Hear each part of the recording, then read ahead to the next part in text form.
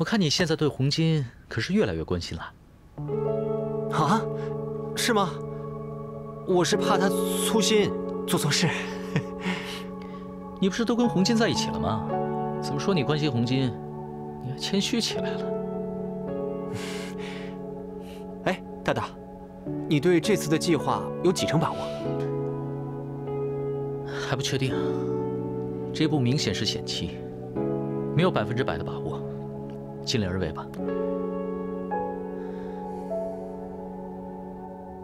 娘娘，您看，这个是玉露团，这个是桂花糕，这个是芙蓉饼，您尝尝。嗯，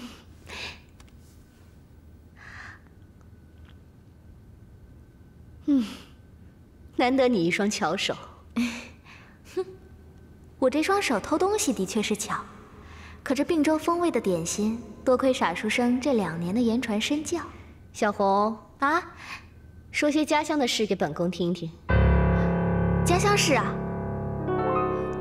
啊，这个啊，祁县的人呐，都说娘娘您，呃，母仪天下，呃，以娘娘为荣呢。啊，这个还专门有人画了您的画像来卖，啊，逢年过节的时候啊，家家户户都把娘娘的画像供起来呢。真的？嗯，那他们把本宫画的怎么样啊？当然和娘娘一样，雍容华贵、美丽动人了。您知道吗？这个祁县，但凡生女儿的人家，都让女儿天天看娘娘的画像，就是希望自己的女儿能像娘娘一样漂亮。娘娘，娘娘，怎么样了？那个妖妇还是疯疯癫癫的吗？娘娘。这武昭仪现在的状况，比之从前简直是有过之而无不及。奴才方才在凤琴殿外亲眼所见，她披头散发，竟把一个枕头抱在怀里当婴儿。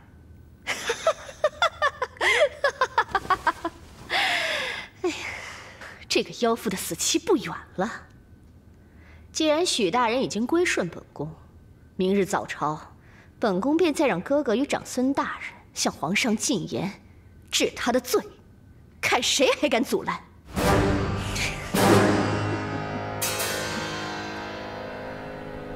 怎么样，一切可好？没有露出什么破绽吧？放心吧，幸亏那王皇后尽爱听人拍马屁，我只要投其所好，就没什么问题。你个鬼精灵，怪不得大大说你聪明伶俐呢。啊，对了，他身边那个太监焦进去探查武昭仪，也被武昭仪所蒙骗。他现在是得意忘形，越来越放松警惕了。哎，那包东西放好了吗？我做事你放心。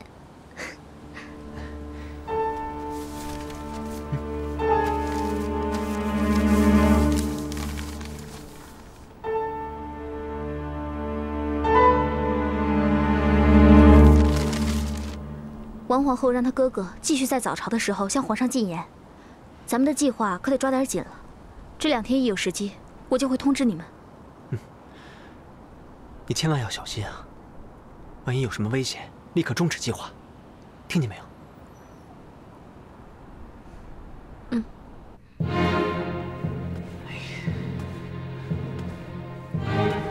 哎，立本兄，这武昭仪她就算不是故意杀死小公主，那也是误杀呀！陛下。此事证据确凿，还望陛下早下决断，将武昭仪按律问斩。陛下，臣请求陛下三思。严大人，武媚娘杀女一事确定无？绝对不是这样的。你以为替其开脱，你是何居心？陛下，陛下。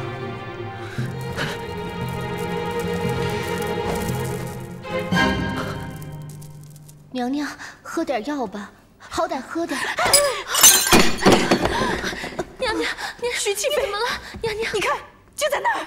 娘娘，就在那儿。啊！娘娘，奴才刚才在凤琴殿外打探到，这武媚娘啊，已经不行了。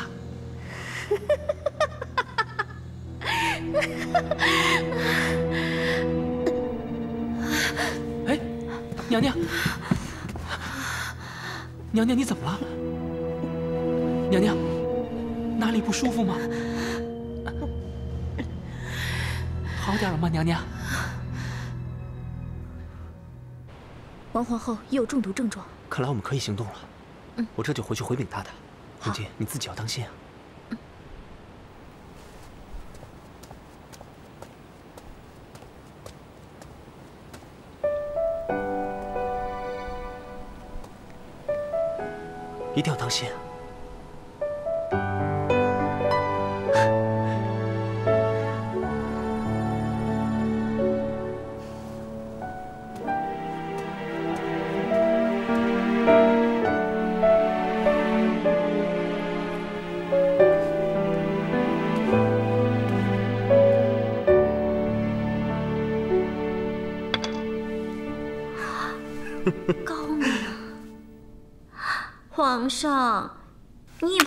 臣妾点儿，臣妾一直在说。爱妃，朕也就只能在你这儿偷得片刻欢愉。等到宫中稍微平静下来，朕要封你做贵妃。皇上，臣妾谢过皇上对臣妾的厚爱，臣妾不求名利。只求能常伴皇上左右，侍奉皇上。嗯，快起来。皇上，狄大人求见，在甘露殿外候着呢。王府，朕和爱妃这盘棋还没有下完，你让狄仁杰待会儿再来。皇上，您还是去吧，也许小公主的案子有什么进展呢。皇上，臣妾不希望您为了我耽误了大事。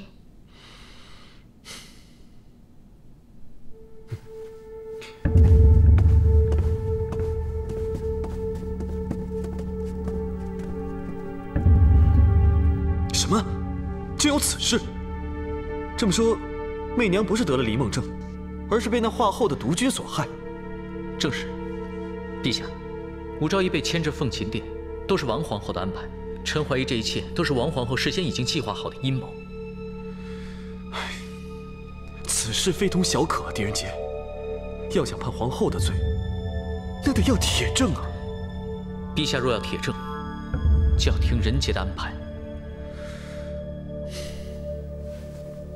娘娘可能是最近过于操劳，思虑过多，以致肝气郁结。臣先为娘娘开一些疏肝活血的药。看看可有好转，再做打算。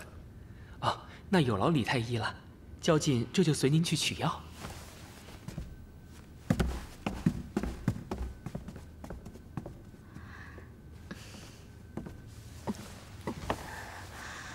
娘娘，您心情烦闷，不如小红陪您去宫中花园走走。听说那里新植了不少玉兰，这玉兰清香宜人，或许能使娘娘心情舒畅。那你还不快带本宫去？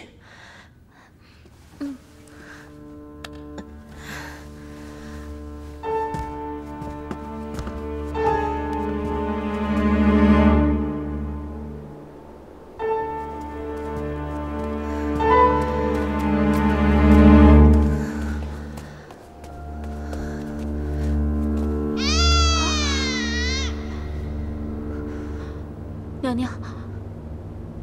我好像听见了婴儿的哭声啊！这是娘娘，这是小公主的哭声。她在哪里？她在哪里？快走！快走！啊！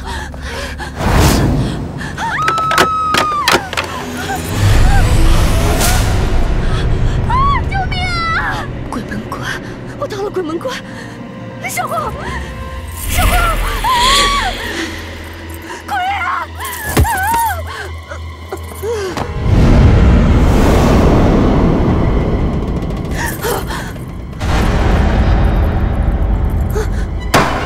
罪妇，进到阎罗殿见到阎王爷，还不下跪？这是阎罗殿，那我岂不是已经死了？你当然已经死了，但你死前的罪孽还要偿还。你可知道十八层地狱的厉害？不要，我不要去十八层地狱！大王饶命啊！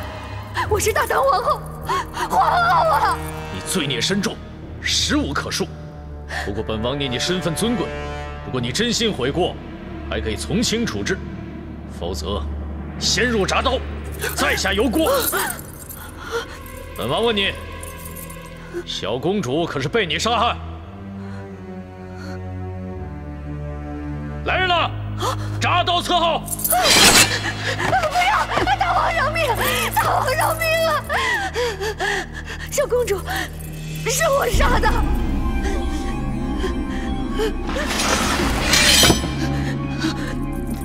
是我，赵元一道长做法，想害武昭仪。可是，让武昭仪建功，是元一的主意。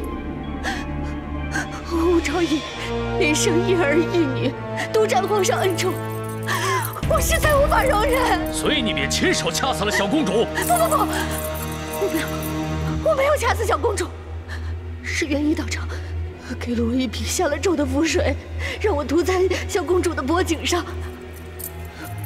小公主是被元婴道长咒死的，不关我的事。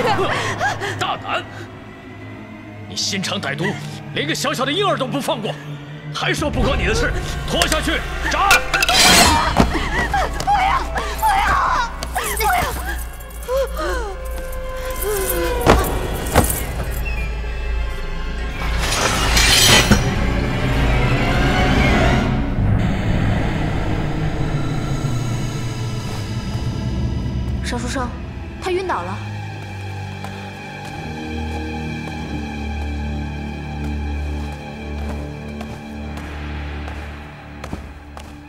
朕的女儿真的是皇后杀的，朕要废了她！不，朕要杀了她！陛下，凶手不是王皇后。皇后刚刚不是已经招供了，说是她用厌胜之术害死的小公主吗？厌胜之术只不过是世人的迷信，根本不可能杀死人。就像这阎罗殿，事实上根本不存在。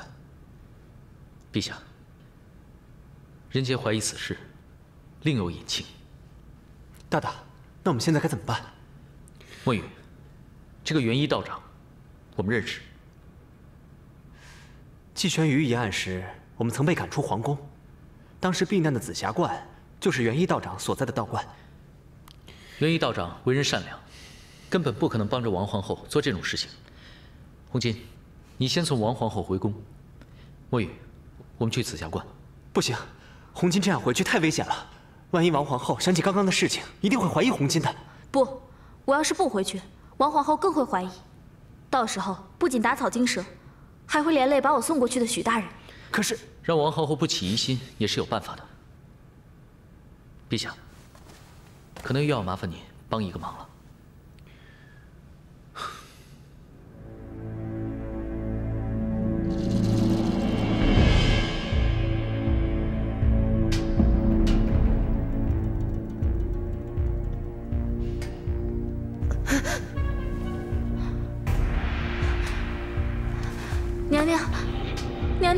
醒了，真是急死奴婢了。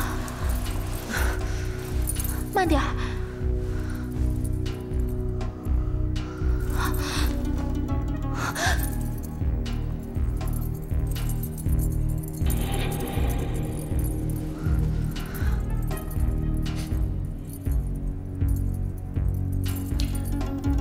皇后，你刚刚在花园晕倒，小红急着到处找人，幸亏朕路过遇到，才命人将你送了回来。怎么样？现在感觉好些了吗？臣妾没事，多谢陛下关心。都是奴婢不好，是奴婢非拉娘娘去花园散心，还请娘娘责罚。哼，你伺候皇后疏忽大意。朕本来应该将你杖毙，但念你护主心切，皇后又并无大碍。来人呢？在在。将小红逐出宫去。是。谢陛下。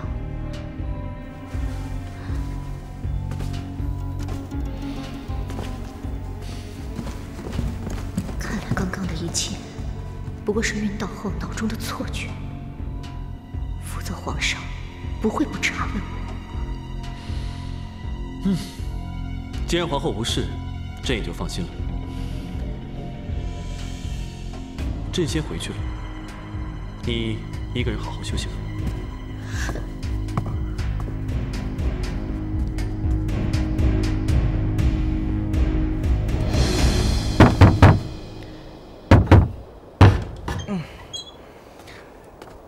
这么晚了，你们找谁啊？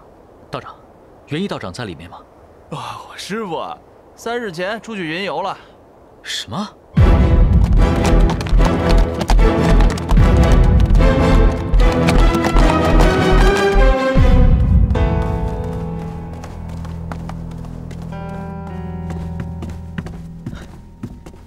陛下，太好了，你终于没事了。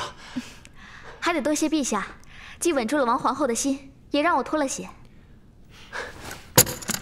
墨雨，多谢陛下。平身。这还都得归功于你家主人足智多谋，是他给朕出的主意。陛下，过奖了。人家刚刚和墨雨去了紫霞观，元一道长已经不在了。狄仁杰，皇后真的不是凶手。陛下，人家在私底下去查验了小公主的尸身，发现小公主的颈部红色痕迹依旧明显，并无任何褪去的迹象，便怀疑。小公主并非是被人掐死的。刚刚我又听王皇后说，她将符水涂抹在小公主的脖颈，人家怀疑，这很可能是一种特殊的药水，涂抹在脖颈之后，过一段时间，会产生红色的痕迹。仅此而已。所以王皇后走后，赵宝才会看到小公主还活着。正是，符水留下来的痕迹，很可能是假象，用来诬陷武昭仪的。那朕的女儿到底是怎么死的？大理寺的查验并没有什么问题，小公主是死于窒息，只是用了什么方法，人家还不清楚。如此看来，王皇后很可能是被利用的。她虽然有杀小公主之心，但并无杀小公主之实。此案是暗中之案。陛下，请你给人杰更多的时间，人杰定尽全力查办此案。对了。皇后为何会与媚娘一样神志不清？啊，是我让红巾将凤琴殿内的草菇收了起来，碾碎之后放在了王皇后的点心里面。每次只放一点点，草菇并没有什么毒性，只是接触久了会让人产生精神异常，所以检查不出来。陛下，傻书生这叫以其人之道还治其人之身。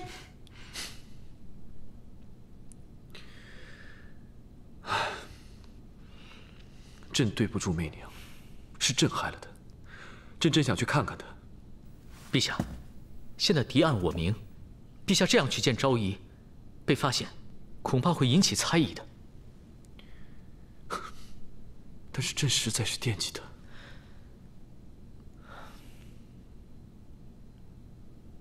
陛下，人杰有一个办法。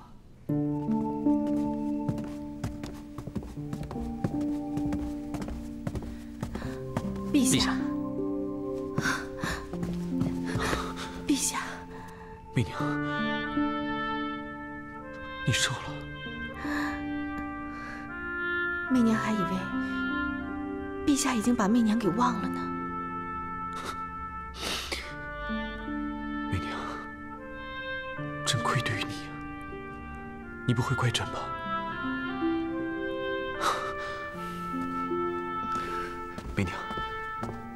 明日早朝，朕就还你清白。可是陛下，现在真凶尚未查出，媚娘何来清白？但是皇后已经供认了，就算她不是真凶，起码可以证明你是被人陷害的。陛下错了，在朝臣看来，皇后若不是真凶，那么最大的嫌疑人便是媚娘了。这，现在有人利用皇后。借刀杀人，行一石二鸟之计。陛下只有查出真凶，才能说服朝臣。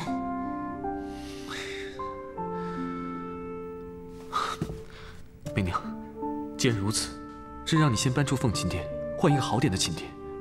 朕不能再看你受苦了。媚娘在凤琴殿虽然苦不堪言，确实想早一点搬出，但是现在万万不可。为何呀？那样就等于告诉真凶，我们已经发现了凤琴殿的秘密，这样不利于狄大人查案。这也不可，那也不可。朕愧对于你啊！朕看你受苦，就于心不忍。媚娘，你能不能告诉朕，朕可以为你做点什么？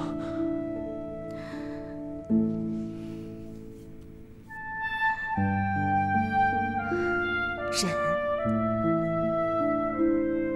和媚娘一起忍，这是现在陛下唯一能为媚娘做的事。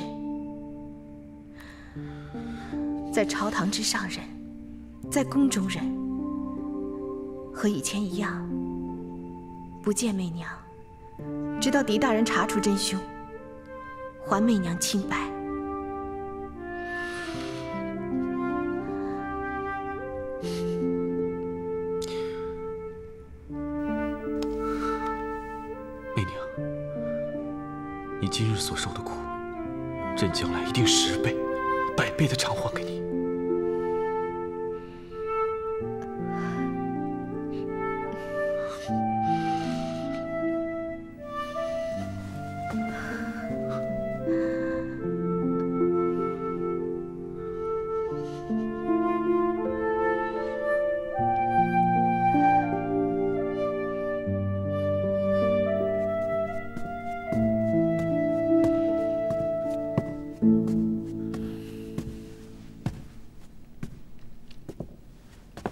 狄大人，谢谢你。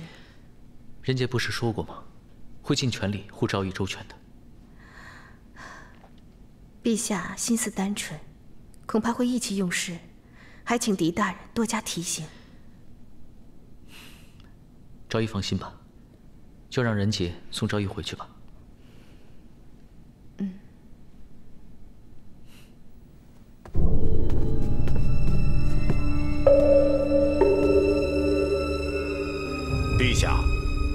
臣听闻昨夜皇后娘娘晕倒，想来是为小公主的案子烦心。臣恳请陛下速速治武昭仪的罪，以令皇后安心呢。陛下，既然赵大人都已经作证，小公主并非皇后所杀，那凶手必是武昭仪无疑。狄大人继续查办此案根本毫无意义。李义府，你未免太武断了。要定昭仪的罪，必须要有真凭实据才行。我记得你以前口口声声说武昭仪贤良淑德，你现在反口咬定是武昭仪杀了小公主，如此前后矛盾，你是何用心？严大人，李大人不过是据实讲话。以前或许是被武昭仪的假象给蒙蔽了，嘿，就连本官也都一样。许大人，你知错能改，善莫大焉。许大人明智啊！你们不要再说了。忍，跟媚娘一起忍耐，这是现在陛下唯一能为媚娘做的事情。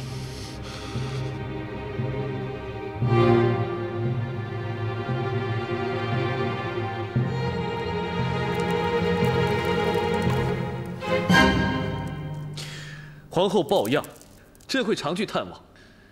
狄仁杰若久久不能破案，朕自会有所处断的。报！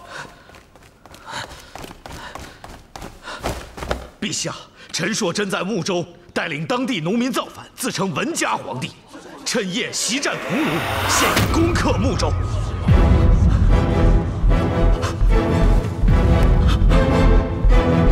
皇上，陛下，皇上，您怎么了？皇上，皇上，陛下。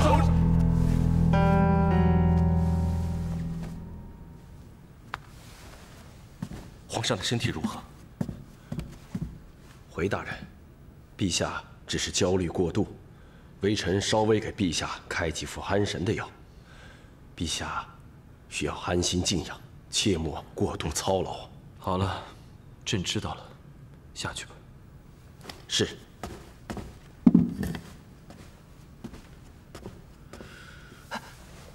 皇上。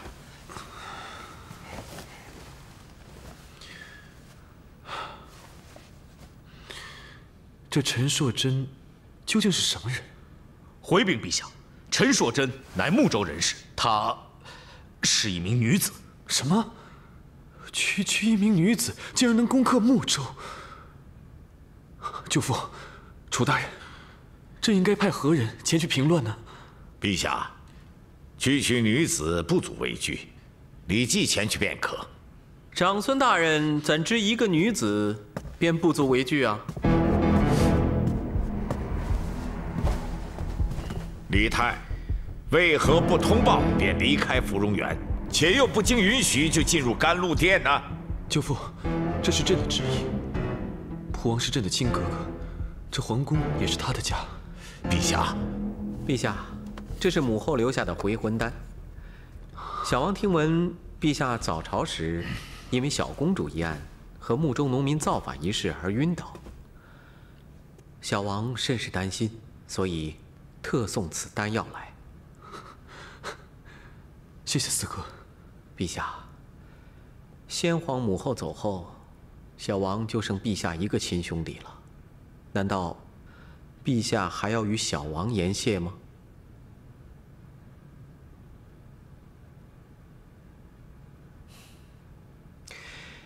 对了，舅父还没有回答我刚才的问题呢，舅父。怎么就凭一个女子，就说不足为惧呢？这样说未免武断了一些吧？一群草民乌合之众，怎可与我大唐的百万雄师相匹敌呢？看来舅父是忘了，父皇曾经说过：“水能载舟，亦能覆舟。”这水，我想指的就是天下万民吧。这陈硕贞是一滴水，这江南的人民便是一条河。当我大唐所有的农民汇聚在一起，变成了汪洋大海。陈硕贞能够带动睦州，睦州就能够带动江南。舅父还觉得不足为惧吗？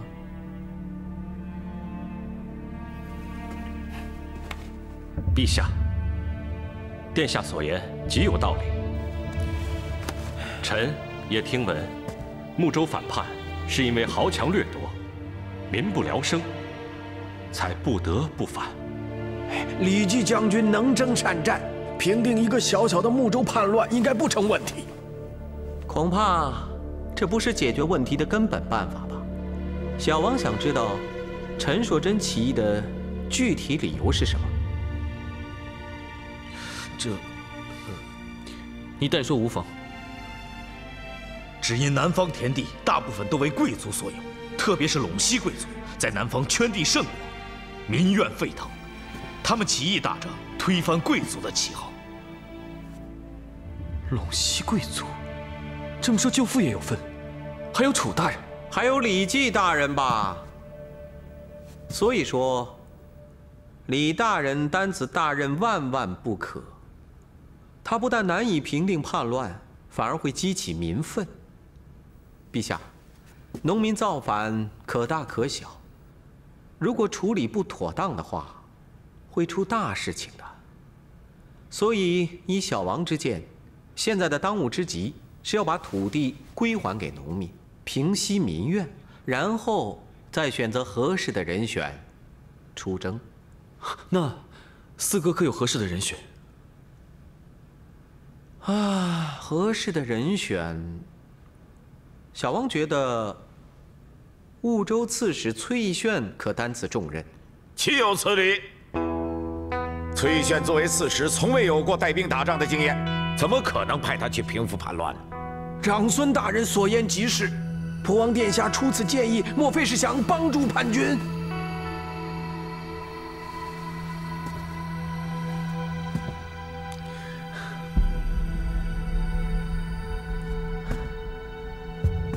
这大唐的江山，是我李家的江山吧？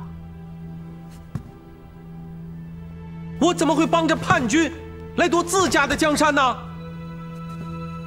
长孙大人说的没错，崔义炫确实只是个刺史，但此人廉洁奉公，在南方一带深受爱戴。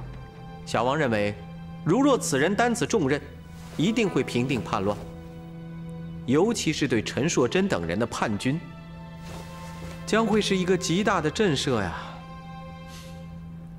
好，那朕就派崔义炫为大将军，平复婺州叛乱。陛下英明。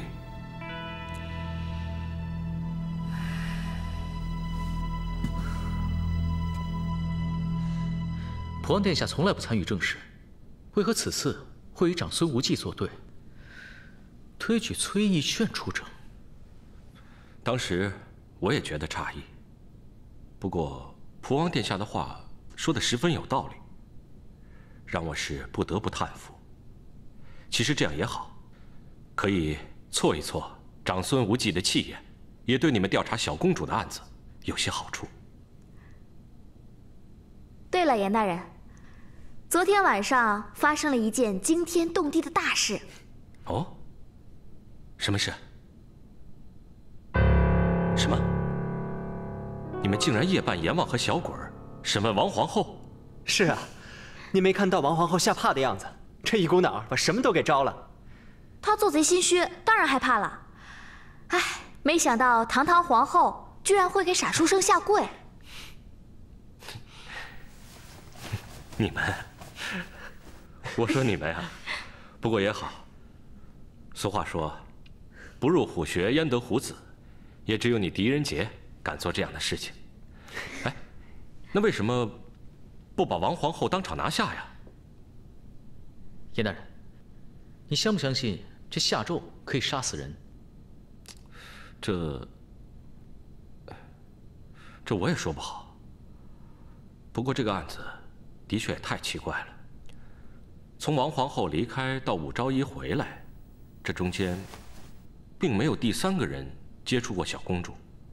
难道凶手能够不出现就可以杀人？第三个人，第三个人，凤琴殿内还有第三个人。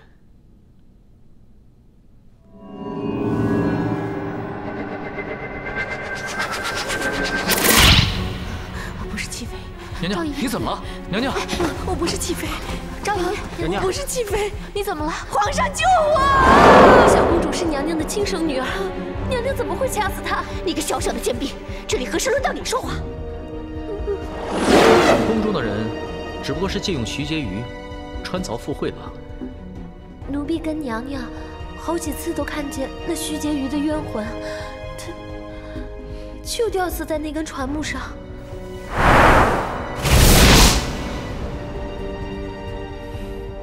凤琴殿内的确有第三个人在，六月。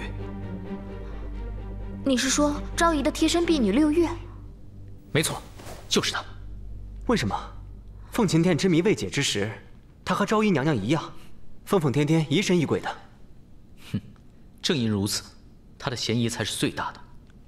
其他的宫女顶多就是精神异常，而她最为严重。但却又没有武昭仪那般可以产生幻觉，所以你就怀疑她。最重要的不是这一点。红巾，你是如何引导王皇后产生幻觉的？我就跟她讲一些与小公主相关的事情，还跟她说我听见小公主的哭声，她就会非常害怕，好像见到小公主的鬼魂一样，吓得不得了。红巾，六月做的事情，跟你是一模一样的。六月一直不停的在给我们讲徐婕妤的故事，特别是武昭仪。武昭仪因为皇上的疏远，已经非常难过了，加上又中了军毒，听到六月的话后，会显得更加恐慌，以至于产生了幻觉。之前任杰到凤琴殿勘察，也是中了六月的魔咒。任杰，你说这个六月，他会不会是王皇后的人？不。让武昭仪迁至凤琴殿，是元一道长的主意。王皇后一直相信元一的法术高强，她一直以为是元一的法术使武昭仪的精神出现了问题。可见王皇后根本不知道这凤琴殿的真相，但六月知道，所以她才会不停的给我们讲徐婕妤的故事。这么说，六月是真正幕后凶手的帮凶。六月一直是武媚娘的贴身侍婢，她也负责照顾小公主。可为什么在小公主出事当晚，她就睡过了头？难道你们不觉得奇怪吗？到底是谁？到底是谁伤害了媚娘的小公主？娘娘，都怪六月一时贪睡，没有去那殿照看小公主。偏偏在这个时候睡过头，的确有点奇怪。马上去凤琴殿捉拿六月。六月，你是说我的贴身婢女是杀死小公主的帮凶？极有这个可能。不可能。自打我一入宫，就是六月在服侍我，我待她不薄，她为什么要害我？昭仪，你先别着急，也许她是迫不得已的。没错，现在最重要的是把六月叫过来问一问。我让她去花园采玫瑰花了，应该快回来了。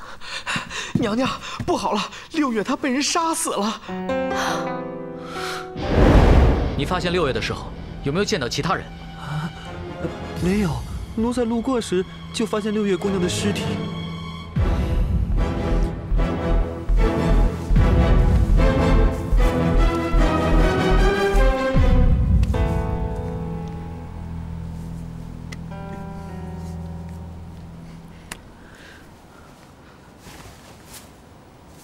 大大，为何六月死前要抓住这只玫瑰不放？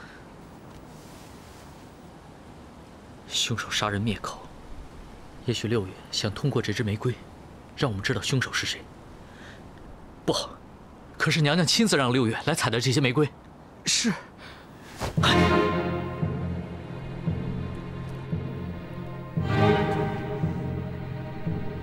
玫瑰花，指向凶手的线索。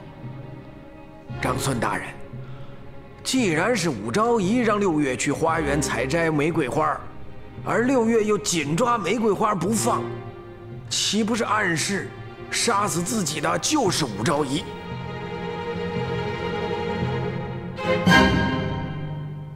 大大，刚刚在花园当着冯昭的面，莫雨未敢多言。其实那玫瑰花，在任何人看来，怕都是指向武昭仪的。嗯。我也正有此担心。凶手不可能是武昭仪。凶手一方面为了杀人灭口，另一方面，很可能是为了制造一系列对武昭仪不利的言论。武昭仪没有那么傻，让六月去花园摘花，又让六月死在花园，这不符合常理。那么长孙大人认为？是有人在陷害武昭仪。六月是他身边最亲近的人，他若连六月都杀，那便是武昭仪一定做了什么事，让六月知道了。哼，这也正是凶手要引导人们做出的结论。能这样陷害武昭仪的，恐怕只有皇后了。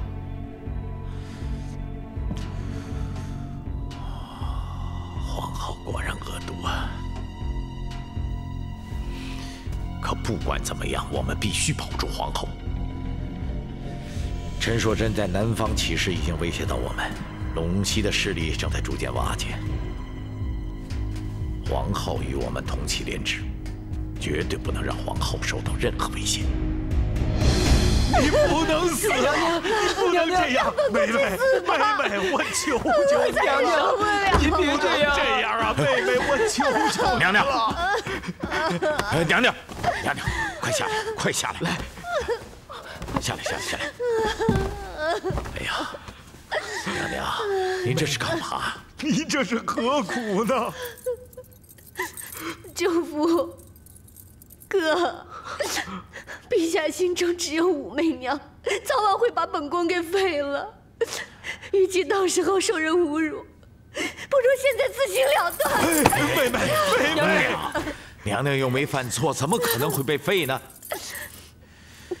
娘娘既然把老臣认作舅父，那你就要跟老臣实话实说，小公主是不是娘娘所杀？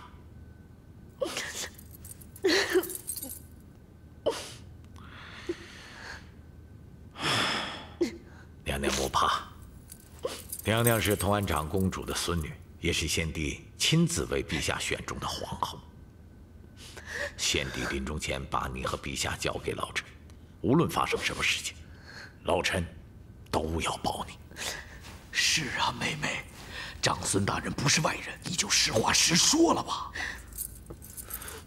舅父，小公主，乃是本宫召紫霞观元一道长下诏所杀。元一道长说，这样可以嫁祸给武媚娘，那个妖妇必死无疑。陛下喜欢武媚娘，她又连生一儿一女，势头比当时的淑妃有过之而无不及。本宫也是出于无奈。才行此下策。老夫早就料到了。其实老夫早就想杀死武媚娘了。